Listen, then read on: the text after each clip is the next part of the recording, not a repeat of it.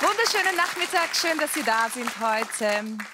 Die Polizei sorgt für Recht und Ordnung. Das ist die eine Seite. In letzter Zeit ist auch oft von den negativen Schlagzeilen die Rede gewesen. Manchmal wird der Polizist auch nicht als Freund und Helfer gesehen. Also Klischees über die Polizei gibt es viele. Wir wollen der Sache heute auf den Grund gehen, die Polizisten menschlich zeigen. Wir wollen sehen, was, wer steckt dahinter. Ich habe die Polizei ins Studio geladen heute Nachmittag. Und wir starten mit Herbert. Herberts Werdegang ist ein sehr spannender. Man könnte sagen, vom Schubhäftling über den Wunsch, Priester zu werden, ist er letztendlich bei der Polizei gelandet. Hier ist der Herbert.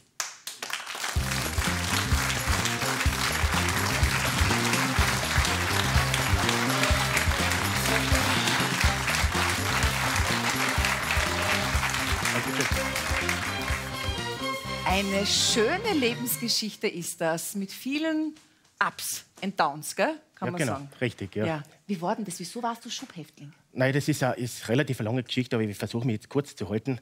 Und zwar war das damals so, dass wir mit den Eltern und den Geschwistern, wir waren damals fünf Geschwister, nach Deutschland gezogen sind. Und weil der Vater dort einen Job gehabt hat. Und es war dann so, dass die Ehe bzw. die Beziehung zu meinem Vater dann in Brüche gegangen ist. Es hat sehr viel Gewalt in der Familie gegeben damals und wir sind dann Geschwister in verschiedenen Kinderheimen aufgeteilt worden, aber in Deutschland das Ganze. Und irgendwann hat uns dann die Mutter wieder zurückgeholt. Nicht? Und wir haben dann in Dortmund gelebt. Und ich kann mich noch gut erinnern, das war dann einmal in einer Nacht- und Nebelaktion. Es war im Februar 1978, ich war damals acht Jahre alt, ist dann plötzlich in der Nacht die Polizei vor der Tür gestanden. Nicht? Ich habe nicht gewusst, um was es gegangen ist. Die Mutter dürfte gewusst haben, um was es geht. Nicht. Wir haben dann alles einpacken müssen. Wir haben ein paar Habseligkeiten gehabt. Also jeder eine Schachtel. Ich habe mein ganzes Spielzeug eingestopft, was gegangen ist. Das kann ich mich erinnern. War aber dann so, dass wir nicht viel mitnehmen haben können. Und wir sind dann mit einem Bus an die österreich-deutsche Grenze gebracht worden, nach Freilassing. Und im Reisepass drin gestanden von der Mutter noch ist gestanden, abgeschoben. Wir sind damals wirklich abgeschoben worden und wir waren sozusagen auch Schubhäftlinge damals. Ganz eine interessante Geschichte, nicht? weil damals war ja diese EU Ja. noch nicht, nicht. Und dann? Nein, es war dann so, wir, wir haben dann relativ schnell Fuß gefasst. Also die Mutter hatte gekämpft wie ein Löwe und wir waren ja dann zum Schluss schon sieben Kinder. Und haben dann eine Wohnung bekommen. Wir sind ganz nett aufgenommen worden von österreichischen Behörden, von unseren Leuten wieder. Und Nett aufgenommen. Nett, Nett. nett, nett aufgenommen, ja. Und das ist dann so weitergegangen, dass irgendwas halt dann schiefgerannt ist. Nicht? Wir haben in Radenthein gewohnt, in der neuen Heimat, das ich mich noch gut erinnern. Und dann plötzlich war wieder die Polizei da. Und die Mutter wurde festgenommen. Nicht? Die ist dann fünf Jahre gesessen. Und wir Kinder sind dann ins SOS Kinderdorf nach Moosburg gekommen. Damals war ich das circa elf Jahre alt und bin dann dort im Kinderdorf aufgewachsen. Und du wolltest dann eigentlich, dein Weg hätte dich geführt ähm, zum Priestertum. Pfarrer wolltest werden. Ja, richtig. Das hat teilweise damit zu tun, dass ich äh, religiös erzogen worden bin im SS Kinderdorf, wo ich sehr dankbar dafür bin. Und die haben mir eingeredet, ich werde Pfarrer. Also das, Ich war dann Pfadfinder, ich war Ministrant und ähm, habe gesagt, ich möchte unbedingt Priester werden. War aber ziemlich wackelig, weil es ja das Problem war, ich war in einem SS Kinderdorf. Und es geht ja um eine Ausbildung auch noch nicht. Ich habe nur die Hauptschule gehabt. Und es wurde mir aber dann von Seiten des SOS Kinderdorfs ermöglicht, dass ich in Horn die Matura machen konnte. Da gab es ein interdiözesanes Seminar für Priester Spätberufene. Dort bin ich hingeschickt worden. Dort habe ich die Matura mit Ach und Krach dann einmal geschafft. Und bin dann wieder zurück nach der Matura, nach Kärnten, also in Klagenfurt dann, war Sozialhelfer für in der Kinder- und Jugendarbeit. War mir nicht ganz sicher, ob das wirklich der richtige Weg ist, war aber davon noch überzeugt, einmal Pfarrer zu werden. Nicht? Aber ich wollte mir einfach Zeit lassen ein bisschen. Und dann hast du dich verliebt. Ja, das ist relativ schnell gegangen, ja. ja das ist, es war dann so, ich habe so nebenbei Jobs gehabt nicht? und bin dann ins Priesterseminar gegangen, nach, nach Graz. War dort, habe dort studiert und in Graz bin ich dann am Abend einmal fortgegangen nicht? und dann war es aus. Nicht? Dann war es vorbei mit dem Priester. Ich habe mich dann schwer verliebt gehabt mit der Beziehung, die ist aber eh nicht, die hat eh nicht gehalten. Nicht? Das, und ja, Aber es ist eh irgendwie eh besser vorher, als man verliebt sich halt dann später, nicht? Ähm, ja. Mhm. ja. Weil dann hast du gewusst, okay, das ist es nicht. Also Priester vielleicht doch nicht. Und wie bist du dann auf die Polizei gekommen? Naja, das ist dann, ich bin dann ziemlich, muss ich ehrlich sagen, lang geschwommen. Nicht? Ich habe nicht gewusst, was ich machen soll. Ich habe eine äh, Matura gehabt als Ausbildung, das war eigentlich sonst alles. Nicht? Ich habe keine Lehre, sonst gar nichts gehabt. Nicht? Und dann habe ich mir überlegt, nicht, was machst du? Dann habe ich das Bundesheer gemacht, habe dann wieder ein bisschen gejobbt, als Bodymaster, Lagerarbeiter, Bibliothekar. Und dann habe ich gesagt, so aus, ich gehe jetzt nach Syrien runter, war dann auf den Golanhöhen ein Jahr lang unten und war dann, wie es zum Ende zuging, mit dem einen Jahr, war ich dann schon 29 Jahre. Mhm. Und damals war ja ein Aufnahmekriterium, 30 Jahre bis zur Polizei. Nicht? Mhm. Und so gesagt, so, ich mache jetzt irgendwas. Nicht? Und am Anfang war es eher so, so ein bisschen ein Druck. Nicht? Es war nicht so, dass ich sage, es ist mein Traumberuf gewesen. Ja? Das war dann, ich sage, ich muss aus meinem Leben was machen. Vielleicht habe ich mal als Kind Treiber und Gendarm gespielt, nicht, was mir irgendwas in Erinnerung geblieben ist. Nicht? Und die haben mir das dann alles angeschaut, haben mir Informationen eingeholt über die Polizei. Und dann habe ich gesagt, eigentlich, ich probiere es, ich mache es einfach. Nicht? Mhm. Gott möge mir helfen nicht? und beistehen, dass ich noch reinkomme mit meinen 21 Jahren. Und ich habe es dann tatsächlich geschafft. Nicht? Aber sind deine ganzen Erfahrungen von früher, alles, was du erlebt hast und probiert hast, wichtig für deinen Beruf heute? Siehst du viele Dinge anders als ehemaliger Schubhäftling, als äh, quasi Mensch, der sehr gläubig ist? Weißt du, was ich meine? Dass ja. du das nutzen kannst für deinen Beruf? Auf jeden Fall. Also es ist so, ich bin, ich behaupte einmal, sehr sozial eingestellt. Nicht? Das ist mhm. einfach von der Erziehung her, von, wo, von das, was man als Kind erlebt hat in der Kindheit und selbst, dass ich immer mal Pfarrer werden wollte. Nicht? Es ist so, ich bin ja im, im sogenannten koordinierten fremdenpolizeilichen Dienst tätig im 14., 15. Bezirk und mhm. habe sehr viel mit Fremde zu tun. Mhm. Und unter anderem auch jetzt brandaktuell mit sehr vielen Asyl, Asylwerbern oder auch teilweise mit Schubhäftlingen, die wieder außer Landes gebracht werden. Nicht? Und ich versuche halt schon, mit den Menschen ein Gespräch zu führen. Nicht? Ich habe viele Freunde und Bekannte, die die Sprache sprechen, mit reden drüber. Nicht? Und die versuchen einfach, in dem Gegenüber, mhm. dem Schubhäftling oder dem Fremden, einfach einen Menschen zu sehen. Genau. Nicht? Ist nicht einfach, durchaus nicht einfach, aber es, es gibt, erstens gibt es mir persönlich viel nicht und, und ich glaube, mhm. dass es dem gegenüber, dass wenn der eine Würde hat, wenn der ja. menschlich behandelt wird, wenn der einfach ja, angenommen wird, dann ist das eine gute Sache, nicht? wenn man das irgendwie vermitteln kann. Du bist jetzt verheiratet und hast zwei Kinder. Kinder, genau, richtig. Genau, ja. die sind wie alt? Der, das Madel ist jetzt sechs Jahre und der Bub ist zehn Jahre. Okay.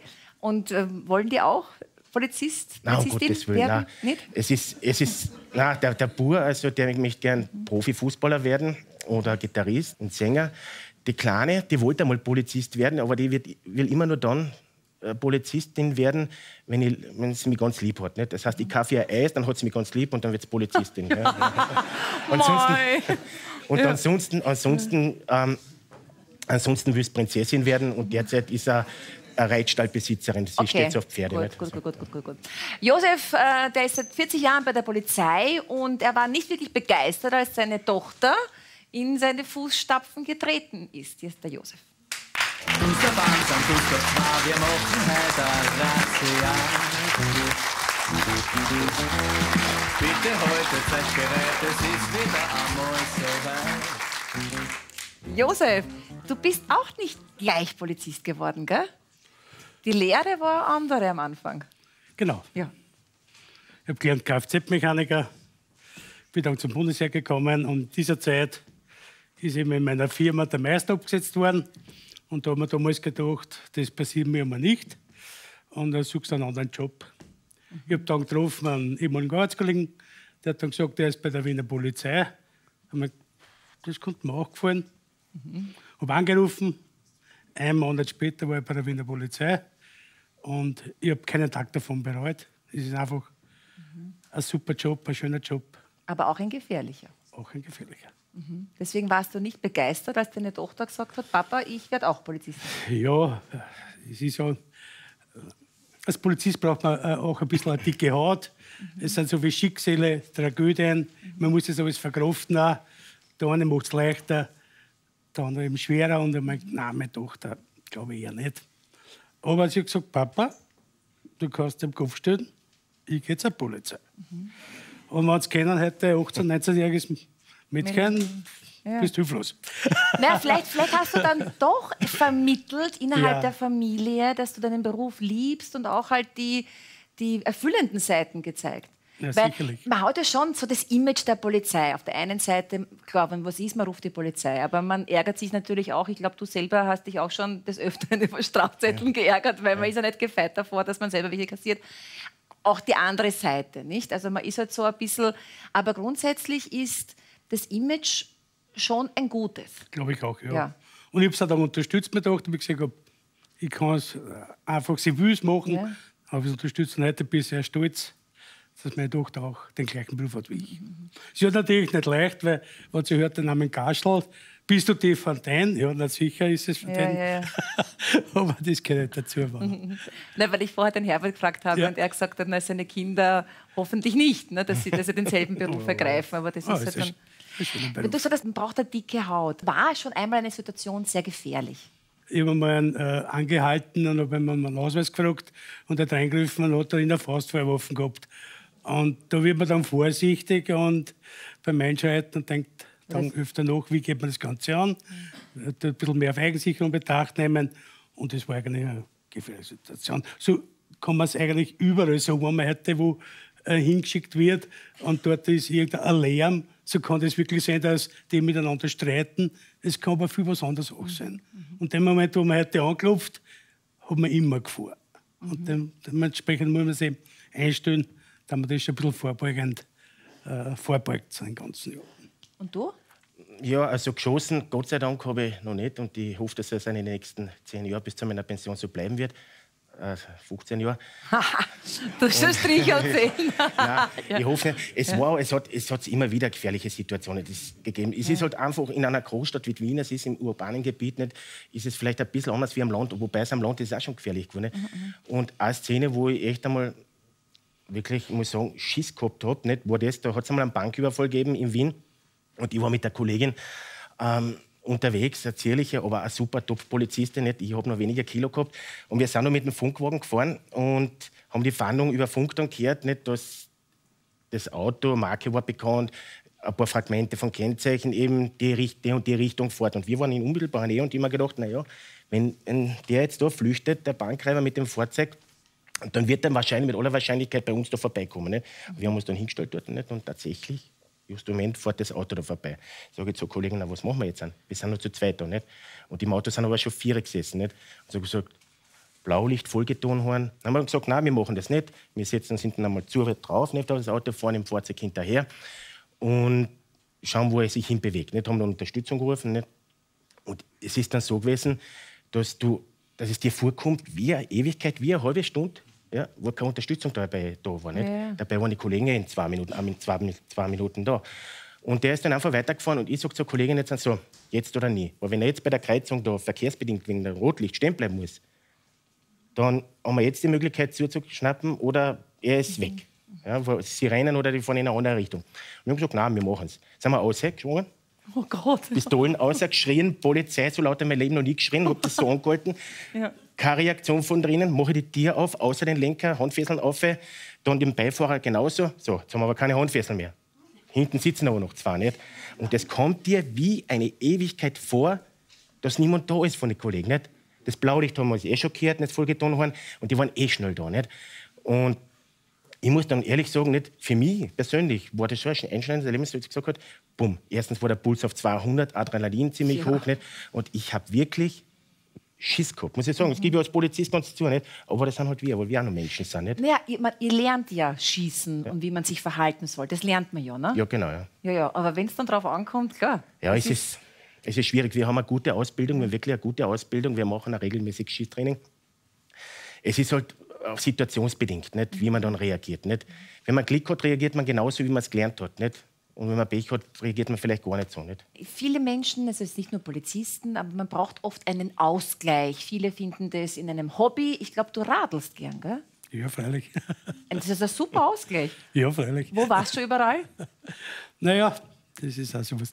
Äh, ich bin den Jakobsweg gefahren von mir zu Hause, von, von Losdorf bei Melk, Scholach heißt richtig die Ortschaft dort anbi, nach Spanien, nach Santiago. Der Compostela. Über, genau. Ja. 3100 Kilometer. Alleinig?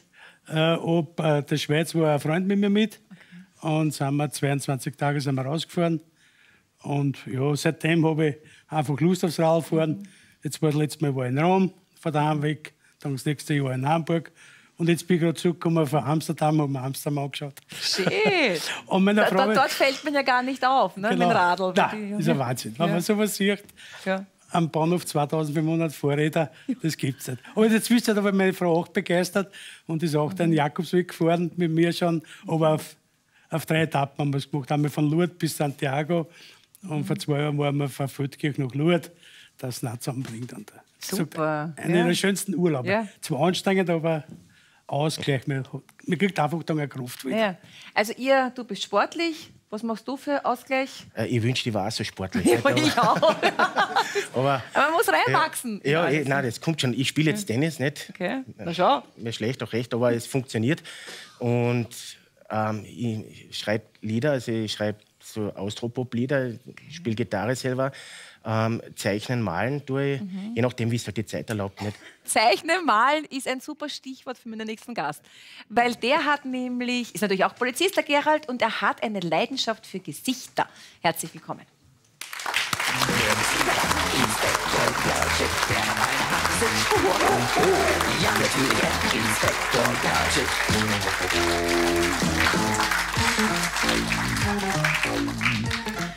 Es kann schon mal passieren, wenn man dir länger gegenüber sitzt, ja, dass man sich dann irgendwo wiederfindet. Aber nicht so, wie man ausschaut, sondern ein bisschen anders. Gell? Das stimmt, ich bin Karikaturist nebenbei und verzehre fallweise Gesichter. Ja. Da gibt es, habe ich nachgelesen, gell, ein Areal im Hirn, das heißt Gyrus fusiformis. Das ist dann ganz gut ausgeprägt. Also wenn es gut ausgeprägt ist, dann ist man so auf Gesichter spezialisiert. Da bist du besser wie ich vorbereitet. Du bist ja besser vorbereitet vielleicht, aber das dürfte bei dir sehr gut ausgebildet sein, weil du dir diese Details merkst. ich Ne? denke, ja. Ja. Auf jeden Fall. Ist auch sicher gut beim Identifizieren von irgendwelchen Tätern. Muss man wissen. Gell? Ich fasziniere auch immer diese, diese Phantombildzeichner. Gell? Dass das, wie die das. Mhm.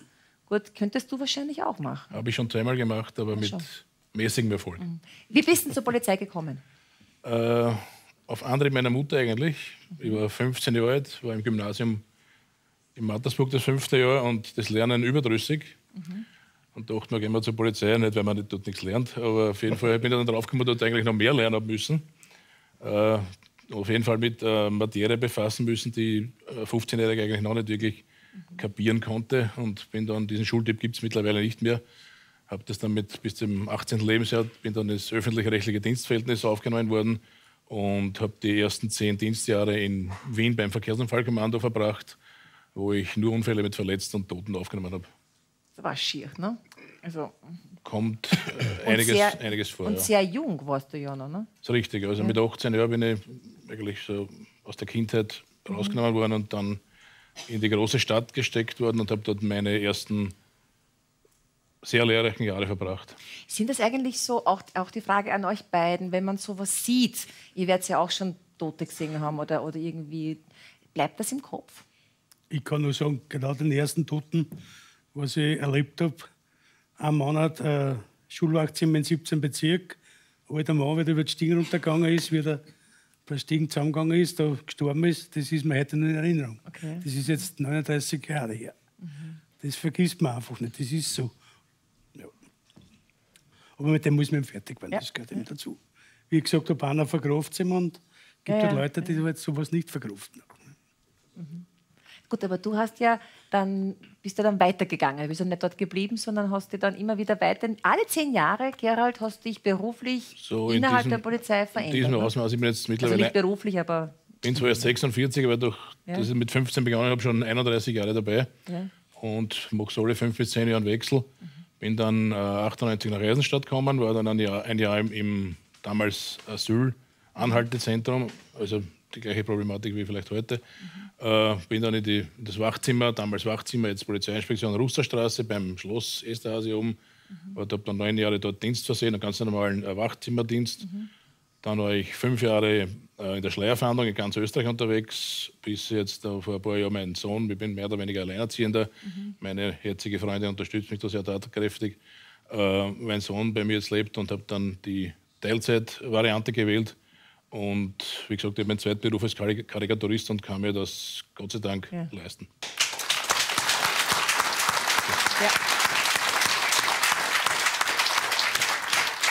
Und du hast ein ganzes Buch voll davon, also nicht nur eins, viele, aber das letzte, da bin ich auch drinnen. Herzlichen Dank. Habe ich mich ein bisschen gefurchten, aber wir werden es jetzt eh gleich einblenden. Aber es ist nicht so schlimm. Du warst eh lieb zu mir. Zu Damen bin ich besonders Schau, lieb. oder? Und dich selber hast du auch karikiert. Ja. Ja, das, das sehen wir jetzt auch noch. Gleich. Ja, da war schon ein bisschen besser.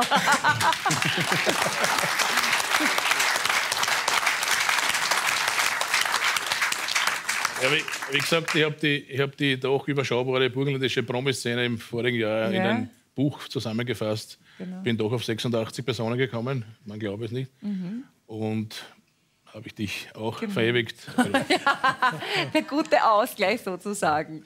Genau. Jetzt kommt die Heidemarie, ist auch eine Burgenländerin und ähm, hat einen wirklich außergewöhnlichen, treuen Arbeitskollegen. Einen mit der kalten Schnauze. Hier ist die Heidemarie.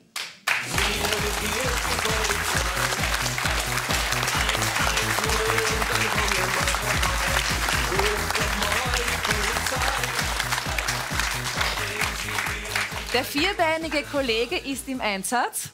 So schnell kann es gehen, deswegen hast du ihn nicht mit. Was, mir, was mich sehr traurig stimmt, ich liebe Schäferhunde. Aber du musst jetzt erzählen, äh, wie du dazu gekommen bist. Warum bist du in der, in der Polizei- und Hundeabteilung gelandet? Mm, Ja, das ist daraus entstanden, einfach das große Interesse am Hund. Ich wollte schon als kleines Kind einen Hund haben. Es hat Jahre gedauert, bis meine Mutter endlich mal zugestimmt hat, dass ich mir einen nehmen darf. Und der war immer mit mir mit dabei. Und dadurch ist die, die, die Liebe zu dem Tier entstanden, auch zu dem Hund. Das hat mich immer nach und nach interessiert. Und dann bei der Polizei, ähm, dazumals habe ich mir noch einen Hund genommen, einen deutschen Schäferhund-Mischling. Und durch diesen bin ich dann zur Polizeidiensthundeabteilung Weil gekommen. dazwischen hast du ja die Kindergartenpädagoginnen Ja. äh, Lehre, oder wie sagt man da? Also du warst der Kindergartenpädagogin Genau. zwischendurch, ne? Genau, das ist äh, eine fünfjährige Schule mit Matura und die habe ich auch fertig gemacht. Aber da war ich nur ein halbes Jahr. Weil Ja, ich arbeite doch lieber mit den großen Kindern als mit den kleinen. mit denen, die nicht zurückreden, gell? du, und dein, deine letzte Hündin, also du hast jetzt, glaube ich, drei? Ja. Hunde zu Hause. Ja. Und eine ist schon in Pension. Eine ist schon mittlerweile pensioniert worden, die Ja. ist jetzt zehneinhalb Jahre alt, das ist die Bonnie. Und die war zusätzlich ausgebildet als Drogenspürhund. Und die war die beste überhaupt, gell? Ja, die ist prämiert worden als die beste Drogenspürhündin von Wien. Wahnsinn. Man sagt ja oft, man sagt ja oft, dass, also was man halt so hört und liest, ne, sagt man, naja, die werden süchtig gemacht, die Hunde, aber das stimmt ja nicht. Ne? Nein, das stimmt nicht. Also süchtig machen wir unsere Hunde auf gar keinen Fall, weil da wäre dann die Problematik, wenn der Hund süchtig ist, wird er nicht mehr lange leben. Und wir wollen das natürlich unseren Tieren nicht antun. Und es wird das Ganze aufgebaut über den, den Beute- und den Futtertrieb. Der Hund lernt, ähm, wenn er diesen Geruch anzeigt, durch ein Verhalten wie Platz oder Sitz, bekommt er dafür sein Balli. Okay. Also Oder gar kein ein Lecker. Leckerli. Ah, doch, ja. Auch, auch. Ja. Aber lieber haben sie das Balli. Okay. Und das tut man, wie lange muss man, wie lange werden die ausgebildet, so Hunde, die dann. Also eine Spezialausbildung ja? wie die Suche nach Drogen, die dauert acht Wochen lang. Okay. Da werden die Hunde darauf trainiert, diverse Geruchsstoffe wie Kokain, Heroin, Cannabis auch die Amphetamine wie LSD, Ecstasy anzuzeigen. Und was sagt man da? Such? Ich zum Beispiel sage Revier, wer anders sagt wieder Such. Also Okay, okay. das kann man frei entscheiden. Manche bilden ihre Hunde auf Französisch aus oder auf Englisch. Das ist jedem Hundeführer selbst überlassen. Man hat schon, also einen Respekt, ne? wenn man so Ja. den Schäferhund sieht. Gell? Ja, natürlich, weil jeder, der einmal einen Hundebiss gesehen hat, weiß, dass das weh tut. Das, das sieht man. Und äh, wenn man mit einem Hund auftritt, dann ist, sind, sind die Leute draußen distanzierter und halten sich mehr zurück, weil sie einfach Angst und Respekt vor dem Hund haben. Da hast du dieses Erlebnis mit dem einen Verbrecher, der irgendwo geflüchtet ist und dann plötzlich vor dir stand. Ne? Ja, das war ein Drogendealer. Während die Cobra bei der Wohnungstür hinein ist, ist der beim Fenster hinaus. Und da bin ich alleine draußen mit meinem Hund damals gestanden, mit der Bonnie. Ja. Und, und sehe das in fünf in der Früh, wie der von Fenster zu Fenster klettert, von Balkon zu Balkon und dann runterspringt. Und im Endeffekt hat es nur gereicht, dass ich mit dem Hund hinlaufe, der Hund ihn verbellt und er hat, er hat sofort aufgegeben. Also normalerweise denke ich, wäre er weiter geflüchtet, wenn der Hund nicht gewesen wäre. Aber so weiß er, der Hund ist schneller als ihr. Auf alle Fälle sind wir alle Kommissar Rex äh, gebrandet. also, über Jahre verfolgt. Gut, machen wir ein kleines Päuschen und äh, es bleibt natürlich spannend. Es kommen noch weitere Kollegen auf die Bühne, darunter auch ein Kollege, der als der Mentalist bezeichnet wird. Sehr spannend. Bis gleich.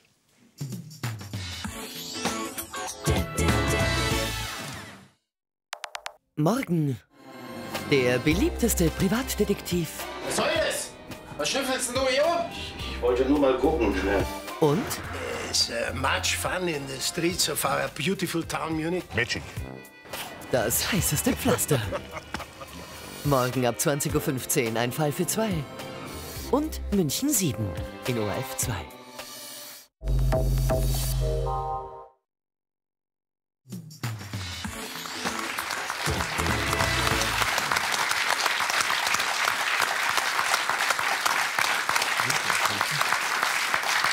sind alle bei der Polizei. Das ist mein Thema heute Nachmittag. Ich habe Polizisten, Polizistinnen eingeladen, die ein bisschen über ihren Alltag, beruflichen, aber auch Privates von sich geben und erzählen. Viele spannende Zugänge zumindest sitzen alle vier auf der Bühne jetzt, die nicht unbedingt gleich zur Polizei wollten. Gell? Ja, stimmt. Eigentlich. Ja? Kindergärtnerin, alles ist dabei. Pfarrer, Priester, Mechaniker, Maturant. Also, Aber was, ist, was wäre denn dein Traumjob gewesen, Gerald? Äh, ich wäre gern Tierarzt geworden. Tierarzt, na schau. Ich habe sämtliches Kleinvieh sehr jung schon zerlegt und Aha. Aha. Okay, verstehe. so ist die tiefste Anatomie der Maus eingedrungen und das war dann Aha, Ja, spannend. Ja, ja, ja. Gut. Jetzt kommt ein Mann mit einer besonderen Gabe, obwohl er sagt, also bitte, ich habe ja äh, keine besondere Begabung, aber irgendwie hat er sie doch, weil er viele Dinge spürt und erkennt. Hier ist der Michael.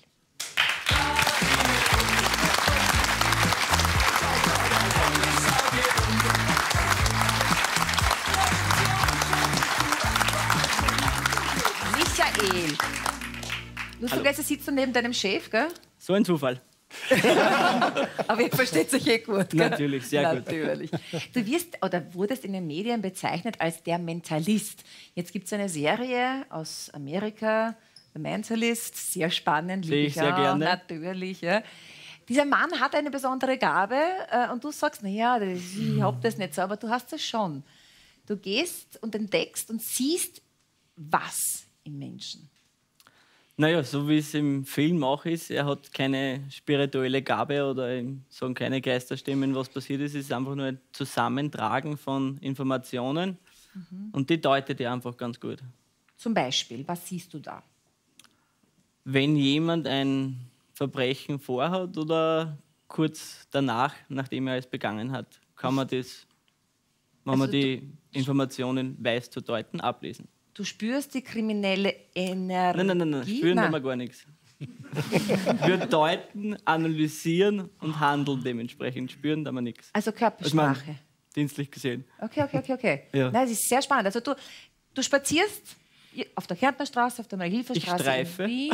Okay, Spazieren möchte ich ein bisschen freizeitmäßig. okay, okay. so angezogen, also nicht jetzt In Zivil, ja. zivil. Und schaust die Menschen an. Und schaust, ob sie sich anders benehmen oder irgendwie schauen.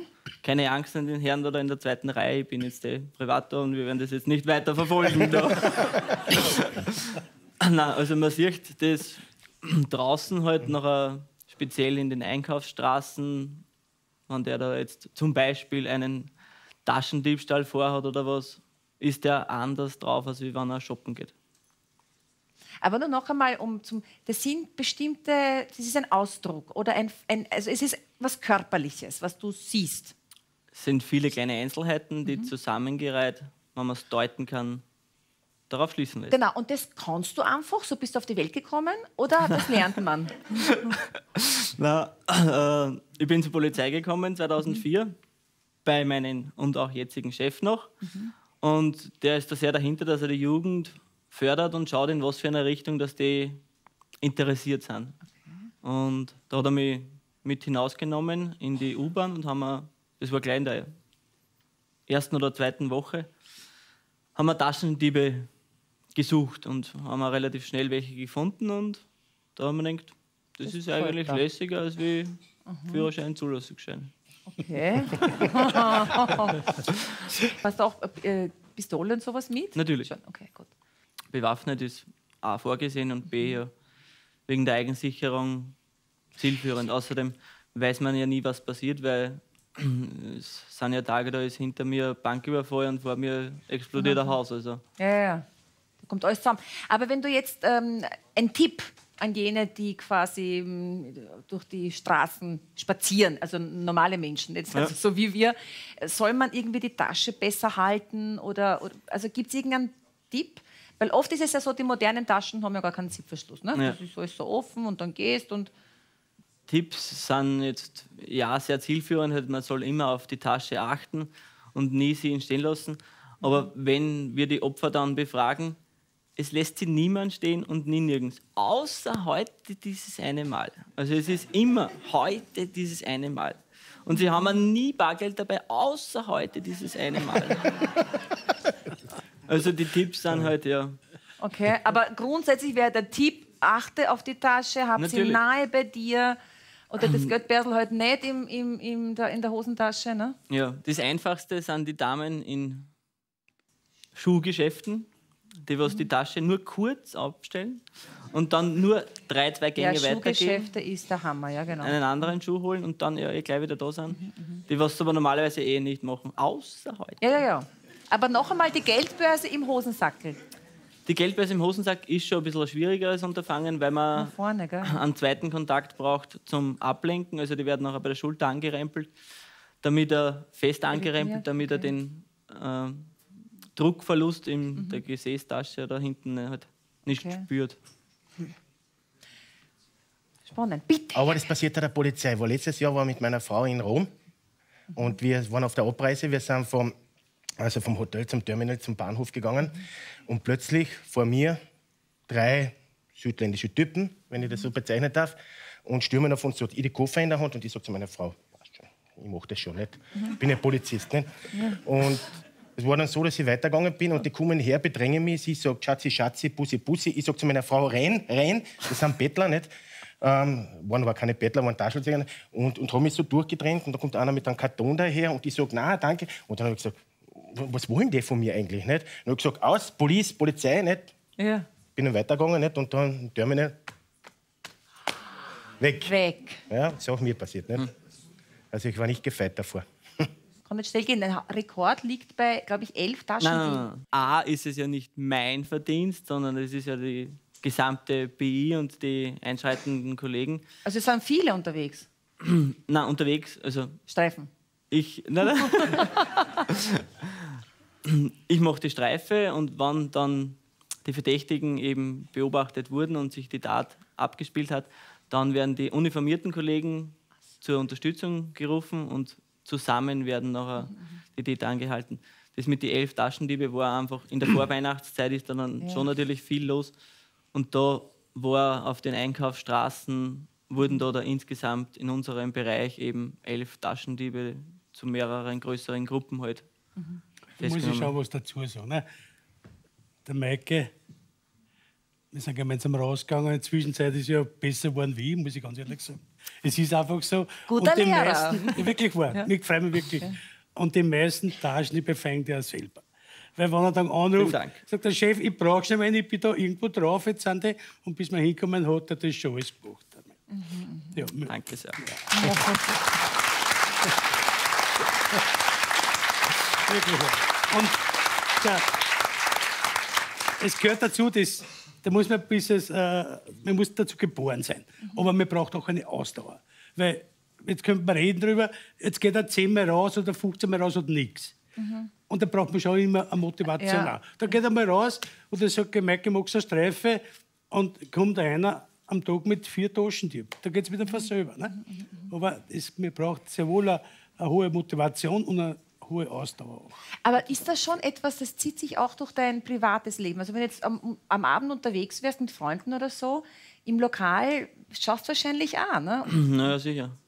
Man, man kann das dann gar nicht so wahrscheinlich Also ablegen. sitzen wir ne? in Urlaub auf Einkaufsstraßen, das ist nicht recht relaxend. Das glaube ich, das glaube ich. Du solltest nur irgendwo in die Berge spazieren gehen. Ja. Nein, anschalten ist halt nicht so einfach. Okay, okay. Aber du bist auch sportlich, ne? Nehme ich Das mal ist an. mein Ausgleich, Ja, ja. ja. Gut. Aber ich weiß nicht, ob du denselben Sport wie deine beiden Kolleginnen machst, die jetzt gleich kommen. Weiß ich nicht. Aber Mirnesa können wir gleich klären. Mirnesa und Mirneta gibt es nur im Doppelpack. Und äh, da kann man echt sagen, die sind schöner, als es die Polizei erlaubt. Herzlich willkommen.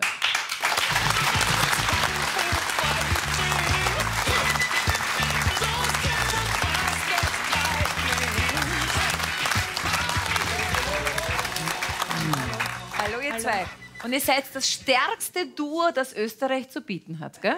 Ja, Ja, weil, so sagen. weil, Vanessa, weil? Weil wir machen Jiu-Jitsu schon seitdem wir sechs sind. Das ist eben so eine Mischung zwischen Judo und Karate. Das heißt, wir werfen auch, aber wir schlagen auch. Das ist so ordentlich. Ey, ich habe ja das Wochenende verbringe ich ja mit meinen Gästen. Nicht dann bereite ich mich auf die Sendungen vor. So. Und dann habe ich euer Foto gesehen und, und, und habe dann gegoogelt. Ich wusste es nicht, was Jiu-Jitsu ist. Du wahrscheinlich schon. Ne? Gesundheit. Ja, genau. genau. Und denkt man nur, das ist ein Hammer. Das, ihr zwei, ja, wenn man jetzt nicht weiß, dass ihr bei der Polizei seid, dann weiß man nicht, dass ihr Jiu-Jitsu macht. Und da sogar Olympia, Weltmeister, was habt ihr Ja, da? bei uns gibt es äh, keine Olympischen Spiele. Jiu-Jitsu ist leider nicht olympisch, aber wir haben die World Games. Das sind quasi die Olympischen Spiele für nicht-olympische Sportarten. Und da waren wir 2013 in Kolumbien zwei Wochen lang. Und wir waren von über 40 Sportlern, die teilgenommen haben. Also aus Österreich waren wir die einzige Goldmedaille.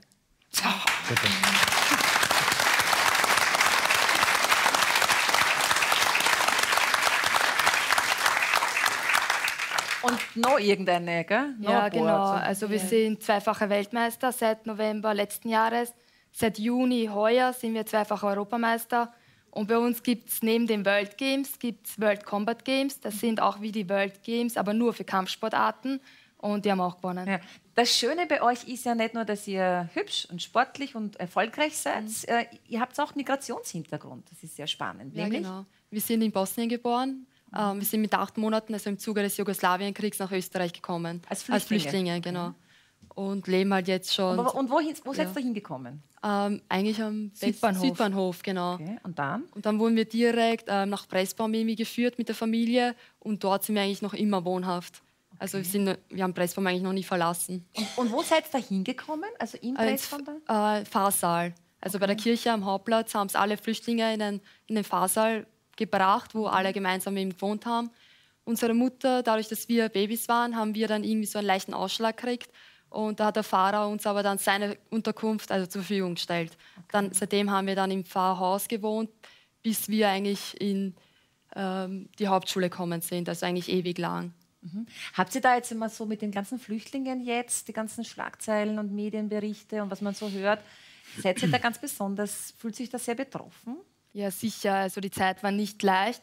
Überhaupt, ja, jemand musste ja die Sprache lernen von ihnen. Also alle haben die Sprache lernen müssen natürlich. Und wir haben es leicht gehabt, weil wir sind mit Deutsch aufgewachsen. Wir Ja, hatten ja. keine Probleme. Bei uns war es natürlich so, wenn wir in die Schule gekommen sind oder wir haben jetzt, keine Ahnung, irgendwelche geschichtlichen Fragen gehabt oder zu Österreich, haben sie es natürlich nicht beantworten können. Aber wir hatten genug Leute, die uns da ja, beiseite gestanden sind und uns geholfen haben. Und Bosnisch könnt ihr schon? Ja, genau. können Genau, das wir. heißt, es ist auch ein, ein irrsinniger Vorteil, wenn ihr jetzt irgendwo geholt werdet und auch übersetzen könnt, rein theoretisch, ne? Ja, sicher. Also Leute mit Migrationshintergrund bei der Polizei ist auf jeden Fall ein großer Vorteil und nützlich für die Polizeiarbeit. Weil die Sprache ist eigentlich das Um und Auf bei der Polizei. Und wenn ich ein Gegenüber habe oder Betroffene, mit denen ich mit Deutsch nicht weit komme, weil sie eben nicht der deutschen Sprache mächtig sind und die eben genauso aus Bosnien, Kroatien, Serbien kommen, Ja. dann ist einer mit der Sprache auf jeden Fall geholfen. Okay, okay. Sag, und wolltet ihr immer zur Polizei? Ja, Eigentlich schon, ja. Also wir wollten schon von klein auf eigentlich immer zur Polizei. Wieso?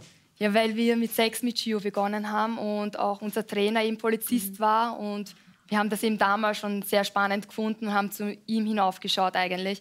Und wir fanden damals eben den Beruf schon sehr spannend und sehr vielfältig.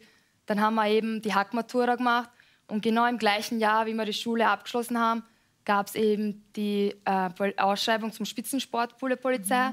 wo eben nur sieben Sportler aus ganz Österreich wieder gesucht bzw. aufgenommen worden für diesen Pool. Mhm. Und wir haben nicht lange überlegt und haben uns sofort dafür entschieden, haben uns beworben natürlich, weil das die perfekte Kombination zwischen Sport und Beruf ist.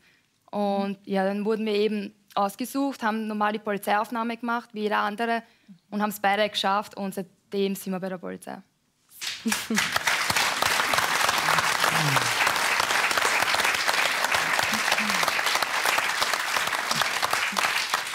Aber ihr wärt nicht dort, wenn nur eine genommen worden wäre, gell? Nein, sicher nicht. So weit haben wir eigentlich gar nicht gedacht, beziehungsweise es war für uns eigentlich von Anfang an klar, entweder beide gehen zur Polizei oder keiner. Dann hätten wir uns halt vielleicht eine andere Richtung überlegt, dass wir keine Ahnung, beide den anderen, einen anderen ja. Beruf machen oder die Aufnahme eventuell in einem Jahr wieder ja, gemeinsam genau. machen. Auf jeden Fall eigentlich gemeinsam. Es ist jetzt immer zusammen eigentlich, ne? Ja, ja. es ergibt sich eigentlich. Besprechen wir das nicht, sondern es ist so. Ja, wir machen schon eigentlich das ganze Leben alles zusammen. Wir trainieren zusammen, wir sind immer in jeder Schule nebeneinander gesessen, die Freizeit verbringen wir zusammen. Also ja, es ist halt keine Frage, was machst du, was mache ich, sondern was machen wir jetzt. ja, ja.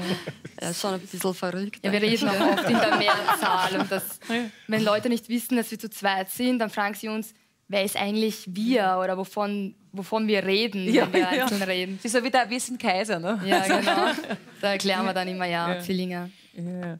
Aber auf alle Fälle seid ihr, habt ihr das auch super verbinden können, ne? Sport und Auf und jeden Fall, jetzt. das war das Idealste für uns und für den Sport auch. Ja, die mhm. beste Entscheidung eigentlich, die wir treffen konnten. Und seid ihr vergeben? Ja. Nein. okay, also du ja, du nein. Nein. Das also, ist aber lustig. Ja, es wechselt sich komischerweise immer ab. Ist der eine? Nein, der, eine also immer, ja, der eine hat es mehr oder weniger eigentlich, ja, sind eigentlich immer zu zweit. Na, ideal, ideal wären Zwillinge. Also ein Zwilling, Zwillingspärchen ja. wäre super. Also, ne? Ja, das wird für noch mehr Verwirrung sorgen, glaube ich. aber das wäre perfekt, wenn das zwei Typen wären, die so wie, also wie ein Bilderbuch wahrscheinlich. Oh, ja, ja, aber Nein, lieber nicht. Lieber nicht. Aber ich muss mir keine Sorgen machen, dass da nicht bald jemand kommt, ne? Nein. Nein, gut. Okay. Aber jetzt kommt auf alle Fälle Alfred, der ähm, wird uns gleich erzählen, wie es so ist am Land, weil es gibt definitiv einen Unterschied zwischen Stadt und Land. Hier ist der Alfred. Hey, hey.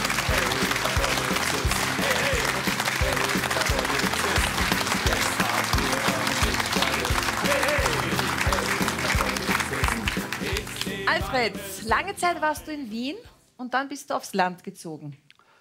Ja, richtig. Also, Weil? naja, also ich habe 82 in Wien begonnen mit der Polizeischule, war zwei Jahre in der Polizeischule, wie es damals war. Dann bin ich nach Wien-Meidling gekommen, war dort bis 2001, also 18 Jahre im Gesamten in Wien. Und dann bin ich zur Autobahngendarmerie damals gekommen. Und 2004 bin ich auf meinen Heimatposten gekommen und mache jetzt da seitdem in der buckligen Welt auf dem Posten und da bist meinen du Dienst. Glücklich, gell? So ist Schon, genau. Ja? So ist genau. Ja, immerhin bin ich 18 Jahre hin und her gependelt, mhm. immer noch im Dienst oder zum Dienst mit dem Zug hin und her gependelt. War doch eine lange Strecke und ich war ja Anstrengend. Ja, machen aber viele, gell? machen sehr, sehr so viele. Ja. Aber nicht nur das, also ich war ja damals habe ich die, auch die Familie natürlich auch zu Hause gehabt. Ja, und war, aber das war natürlich auch viel in den Vereinen, ja. überall tätig. Und somit hat es mich dann immer wieder nach Hause gezogen. Das bist du ja heute noch, gell? in verschiedenen so Vereinen. Was genau. machst du alles? Ja, alles kann ich gar nicht aufzählen. Ein Vereinsmeier? Jawohl. In erster Linie oder in erster Linie bin ich bei uns in unserer Gemeinde Vizebürgermeister. Mhm. Da habe ich natürlich schon mal viel tätiges so Aufgabengebiet. Ja. Wo sich vieles verbindet. Da bin ich zuständig für das Schulwesen, mhm. für das Verkehrswesen. Dann mache ich auch bei uns die Wanderwegeerhaltung und auch die Brauchtumspflege. Und du kannst uns sagen, ähm, wie man sich schützen soll vor Diebstahl, Einbrüchen? Ja. Es gibt ja jetzt in Niederösterreich oder österreichweit natürlich auch das Projekt Sicherheit in unserer Gemeinde. Und da bin ja auch ich ein Kommunalmanager, Verbindungsglied zwischen Gemeinde, Polizei, Bürgerinnen Bürger, Polizei. Und da gehe ich auch zu den Seniorenveranstaltungen und wo ich ihnen Tipps übermittle, so wie jetzt wird dann wieder die Zeit der Dämmerungseinbrüche kommt. Das Einfachste ist eigentlich, wenn man nicht zu Hause ist, eine Zeitschaltuhr, kostet nicht viel Geld, dass ich irgendwo ein Licht aufdrehe in der Wohnung, damit es einen Wohncharakter hat. Keine Aufstieghilfen irgendwo liegen lassen, kein Fenster gekippt lassen. Das sind mal die ersten Tipps. So wie der Michael dann gesagt hat, mit den Taschendiebstählen, das sage ich auch, beim Einkaufen nicht die Tasche unbeaufsichtigt lassen. Nicht ein Neffentrick, das haben wir dann so gang und gäbe. Und längst auch erst, weil ich auch bei uns beim Gesangsverein bin, ein Sangesbruder verstorben, hat mich die Tochter angerufen, hat gesagt, meine Mutter ist ganz aus dem Häusl. Die hat gerade einen Anruf bekommen, äh, er wäre der Neffe, er möchte zum Begräbnis kommen, er braucht Geld überwiesen. Mit diesen Tricks arbeiten die. Oder das nächste ist eben, was ich immer wieder sage, Mails aufpassen, keine Kontodaten bekannt geben, keine Bankdaten bekannt geben, wo ich mich öffnen könnte damit. Gut. Also wir haben lauter fesche, gescheite, aktive Polizisten auf der Bühne, lauter Positivbeispiele. Aber lieber Oberst Johann Golob, Leiter der Pressestelle der Landespolizeidirektion Wien, die Polizei macht auch immer wieder Schlagzeilen, und zwar negative. Zum einen, warum und warum passieren auch diese äh, gewalttätigen polizeilichen Übergriffe?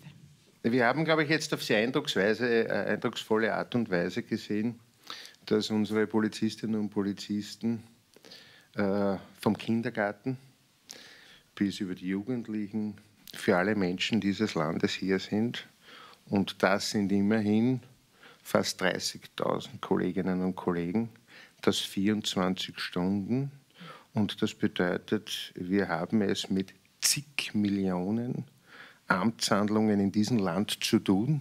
Mhm. Und äh, unsere Kolleginnen und Kollegen sind ein Spiegelbild von unserer Gesellschaft, von uns Menschen. Und bekanntlich ist es so, dass auch Menschen Fehler begehen können.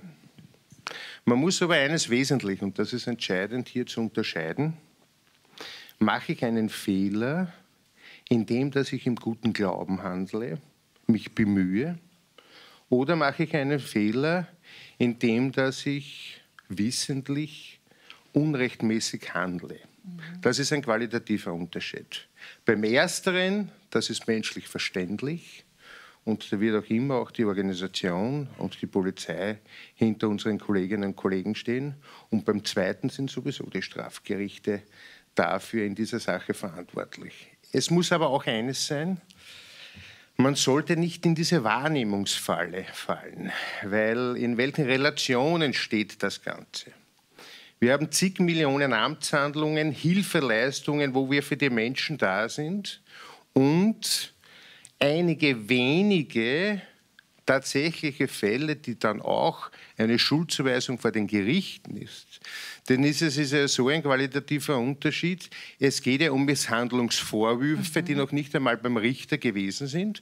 Und die werden natürlich dann auch entsprechend, da muss ich auch das eine sagen, von den Medien hochgespielt. Ja, sagen, Und andererseits aber bitte, ja. wenn die Entscheidung vor dem Gericht gefallen ist, ja, das Ergebnis geht dann meistens unter. Genau. Und wenn wir von zig Millionen solchen äh, Amtshandlungen zwei, drei Fälle haben, wo wirklich einmal ein Botschen passiert ist, dann wird das hochgespielt. Aber das sind unsere Kolleginnen und Kollegen nicht wert, dass man das verallgemeinert. Und ich glaube, wenn man das erklärt, wird es auch äh, uns, äh, unsere Bevölkerung verstehen.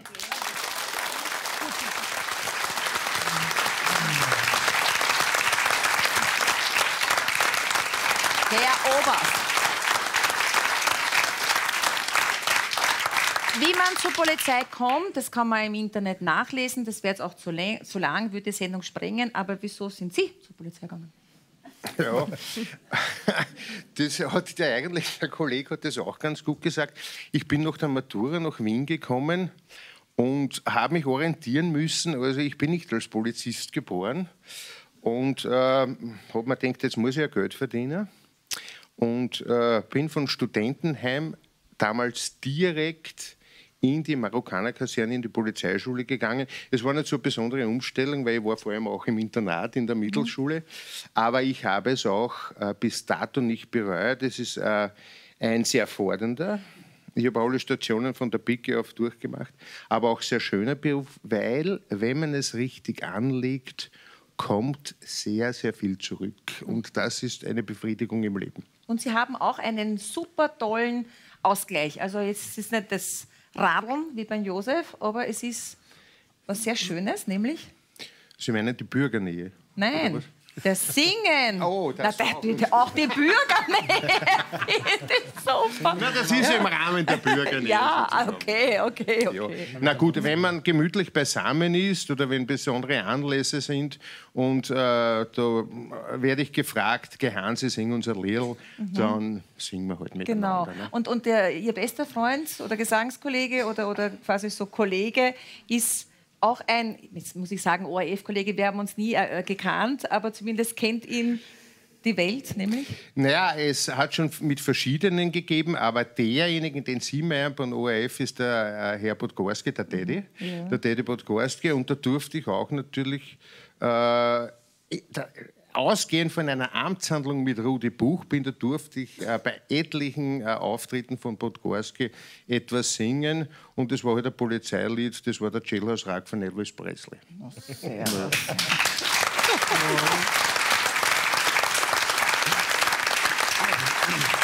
Vielleicht gibt es irgendwann eine Kostprobe. Ne? So spontan geht das nicht, gell? Na, spontan. Nein, gut, was ist schon spontan, gell? Dankeschön.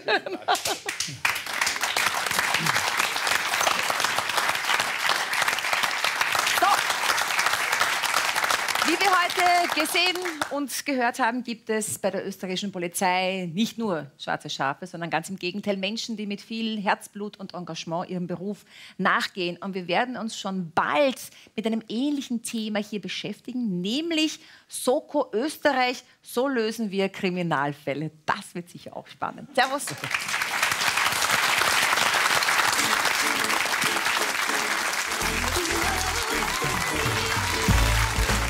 Soko Österreich. So lösen wir Kriminalfälle.